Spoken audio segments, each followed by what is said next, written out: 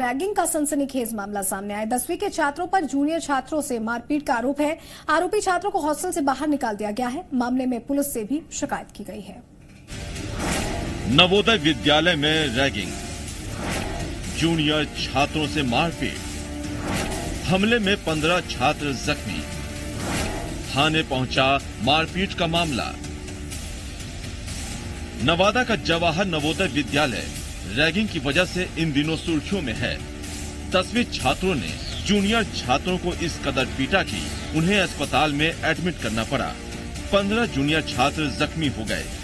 मामले में दसवीं क्लास के आरोपी छात्रों को तुरंत सात दिनों के लिए सस्पेंड कर दिया गया और रातों रात उन्हें हॉस्टल खाली करने का आदेश सुना दिया गया। सुबह सुबह चोटिल बच्चे को और फिर जो बच्चे उसमें इन्वॉल्व हैं, दसवीं के बच्चे। करने में उनके भी उसको सूचित किया गया सी को सूचित किए हैं।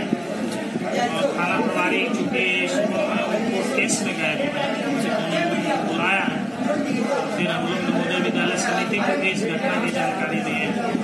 हम लोग लिखित में थाना को इसकी सूचना दे रहे हैं। मामला 21 जुलाई का है। रात करीब 10 बजे। दसवीं के छात्रों ने छठी, सातवीं और आठवीं क्लास के छात्रों को अपने पास बुलाया। जूनियर छात्रों ने हॉस्टल नियमों का हवाला देकर बात नहीं मानी। तो सीनियर छात्रों ने उनके कमरों पर धावा बोल दिया। जो भी मिला, उसकी धुनाई कर दी।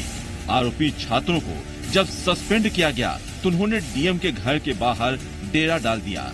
जिसके बाद आरोपी छात्रों के अभिभावकों को हॉस्टल बुलाने का फैसला लिया गया। वहीं आरोपी छात्रों ने रैगिंग की बात से इनकार किया है। हम लोग किसी का रैगिंग नहीं किए हैं। बस हम लोग किसी का समझाने का एक प्रयास किया गया है। एट क्लास से टेन क्लास से डिफरेंस तो है। अब हम सब टीचर के सामने गाना बजाते हुए निकलेंगे तो टीचर को खराब लगेगा।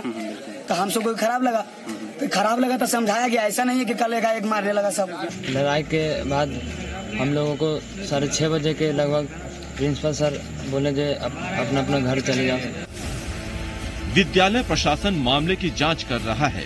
जाँच रिपोर्ट के आधार पर दोषी छात्रों के खिलाफ कार्रवाई की जाएगी। रिपोर्ट चाहे जो आए, लेकिन इस घटना से विद्यालय की प्रतिष्ठा को धक्का ज़रूर लगा है। यशवंत सिन्हा